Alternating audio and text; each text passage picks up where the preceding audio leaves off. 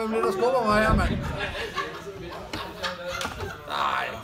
Det er fedt, det er fedt. Det er fedt, vi skal beklæde sådan en skumgummi.